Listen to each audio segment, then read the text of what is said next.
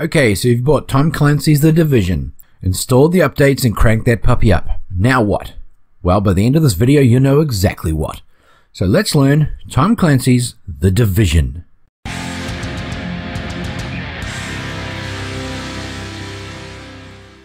Welcome to The Division. My name is MetallaCaine and I'll be your guide today as we figure out just how to get the most out of this wonderful game. By the conclusion of this video, you should have a decent understanding of how to play and progress through the game, and how to get started in the end game. In part 2, I'll go into more detail in the end game and what you should be doing there.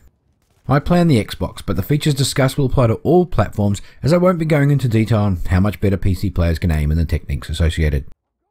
First of all, there are really two main ways to go with the Division at this point. Start off with a fresh character, get through the first couple of tutorial missions, and then with the help of a friend who is already through to the endgame, level as quickly as possible by selecting hard missions and getting your friend to do all the killing. You'll get to level 30 and the endgame very quickly. However, the better way in my opinion is to get stuck into the story and level up at a normal pace. There are a couple of reasons for this. Number one, you'll get your money's worth with a fairly decent story and mission structure, and B, you'll actually appreciate and learn different weapons, mods, and gear and learn as you go. It'll make the endgame make more sense. For the sake of this video, I'm going to assume that you are going the normal paced route.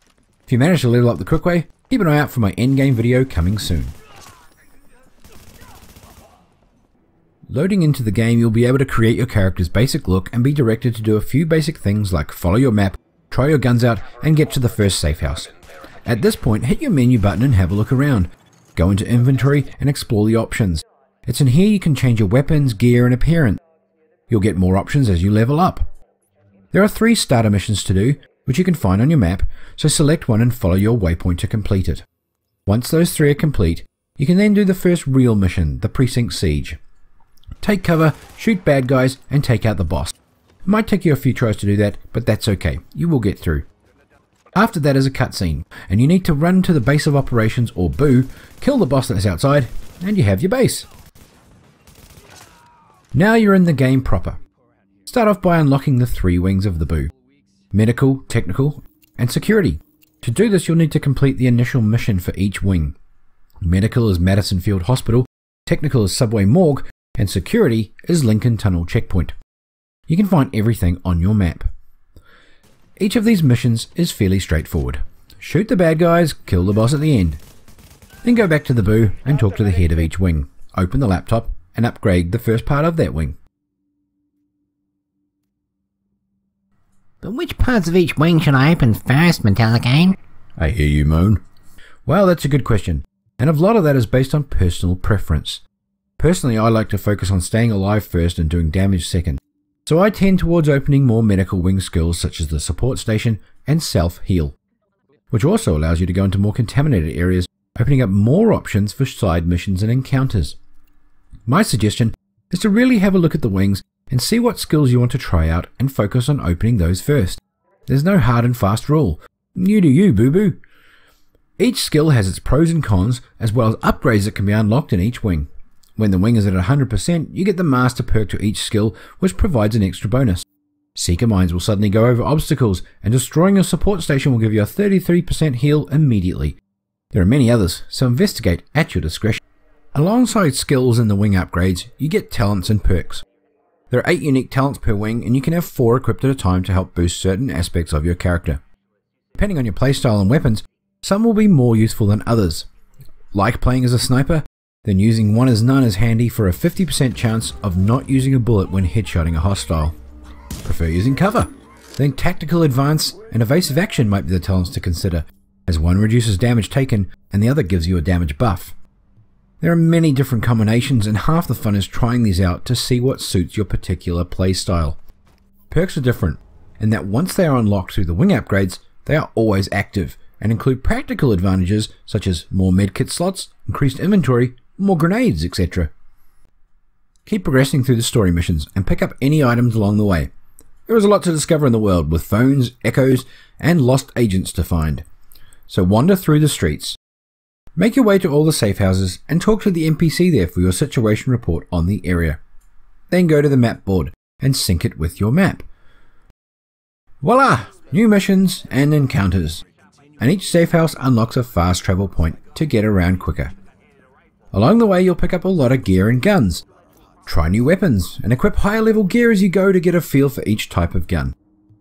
You can add mods to both gear and weapons, improving their damage or abilities, get more stability or critical hit chance, or a whole bunch of other attributes. At this point, before the end game, experiment with different combinations and see what works for you.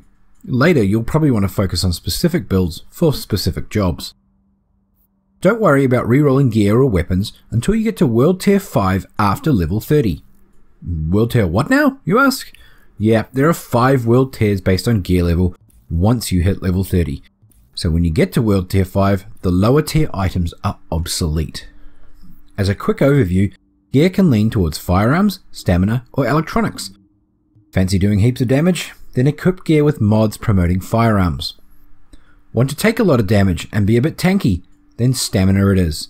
However, if you prefer using skills to do your dirty work, then electronics is the way to go. It's up to you. So what do you do with gear you pick up that you don't want? There are two main options, selling and deconstructing. Selling items at vendors gains you credits which you can use to buy more gear and weapons, though I suggest saving it up till post level 30 where you'll need it to reroll talents on your gear to get the best pieces. Deconstructing destroys an item and give you resources such as weapon parts, fabric, or electronics, which are used to construct gear and weapons later on. For now, I would focus on acquiring credits, as you will need these a lot once you hit the level cap. There are a number of other currencies as well, such as Phoenix credits, Dark Zone credits, Cypher keys, and GE credits, but we'll go over those in the next video. You can also put items in your stash if you can't decide whether to keep it or not. The last thing I'll mention are commendations. If you press your menu button, you will see the dossier in the top left of the screen. In here you can find the recordings and evidence you have picked up during missions and wandering the street. But there are also commendations which you can do whilst in missions or free roam. Completing commendations rewards you with cipher key fragments and patches to wear.